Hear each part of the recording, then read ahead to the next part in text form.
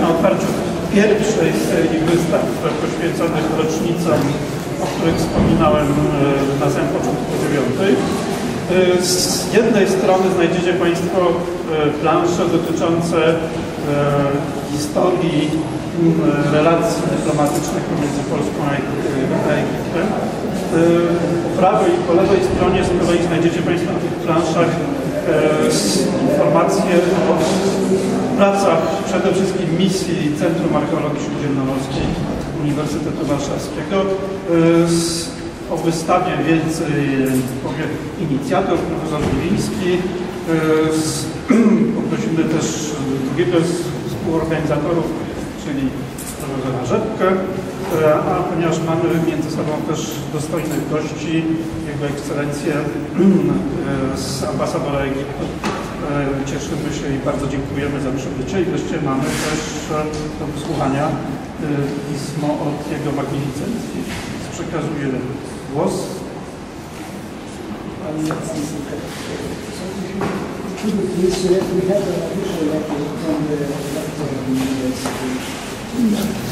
We. Szanowni Państwo, jestem, tak się złożyło, jedyną osobą reprezentującą władzę uniwersytetu, zarówno władzę uniwersytetu całego, jak i władzę Wydziału Historycznego. Ja się nazywam Grażyna Michowlaniec i jestem prodziekanem Wydziału Historycznego do spraw finansów i badań naukowych. A przyszedł przypadł niepodzielny zaszczyt odczytać list, jaki do uczestników konferencji i otwarcia wystaw skierował rektor Uniwersytetu Warszawskiego profesor Marcin Paus. Szanowni Państwo, za tydzień na Uniwersytecie odbędzie się ostatnia z serii konferencji programowych Narodowego Kongresu Nauki. Środowisko naukowe spotyka się od października ubiegłego roku, zastanawiając się wspólnie nad kierunkami rozwoju systemu polskiego szkolnictwa.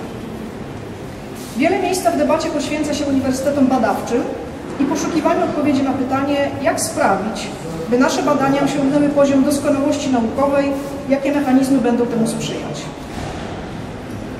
Warto, żebyśmy pamiętali, prowadząc tę dyskusję, że w Polsce już są miejsca, które tę doskonałość osiągnęły. Środowiska, których badania są na najwyższym poziomie, których wyniki prac zyskują światowy rozgłos, które potrafią sobie wychować kolejne pokolenia wybitnych naukowców. Jedną z tych dziedzin jest polska archeologia, będąca w absolutnej światowej czołówce.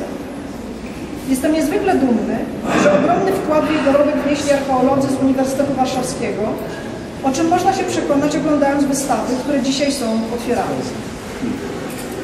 Gdy podsumowujemy dekadę obecności naszych uniwersyteckich archeologów w Egipcie i cały dorobek Polskiej Szkoły Archeologii Śródziemnomorskiej, widzimy, że to, co jest niezbędne w osiągnięciu naukowej doskonałości, to innymi prawdziwa pasja, oddanie, ciekawość, ambicja, ale też otwartość na współpracę z innymi oraz wielkie zaangażowanie mistrzów w edukowanie uczniów, którzy będą kontynuować pracę.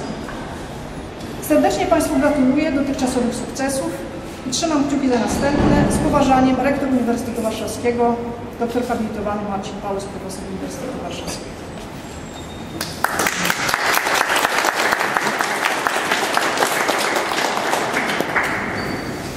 Państwa, żeby już strasznie nie przedłużać, dosłownie dwa słowa w imieniu Zakładu Archeologii Egiptu i Nubii Instytutu Archeologii UW, który jest współorganizatorem Centrum Archeologii Śródziemnomorskiej tych wystaw.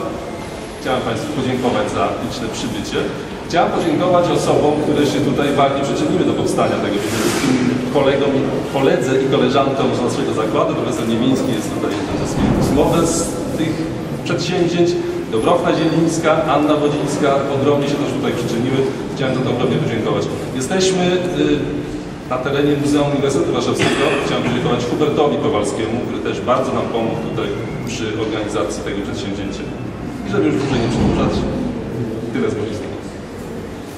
Well, so I think uh, I can uh, address directly to uh, His Excellency Ambassador of Egypt. First, uh, words of thanks that you were so kind to come uh, and participate in this important event uh, of this year and this, this day.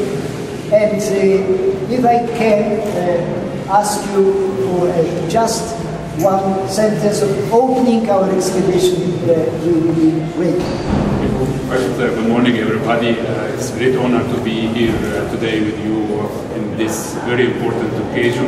Thank you for inviting me, and of course, this day will commemorate a well-noticed effort for the Archaeology Center, uh, Polish Archaeology Center working in Egypt. So, uh, wish you the best for the future of your work in Egypt and Poland, and thank you for this invitation. And have a nice day. Thank you very much.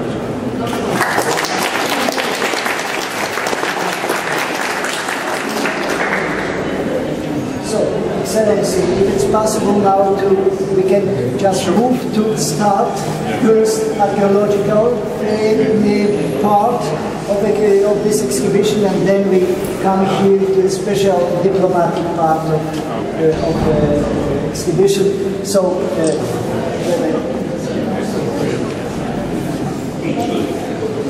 okay, so please.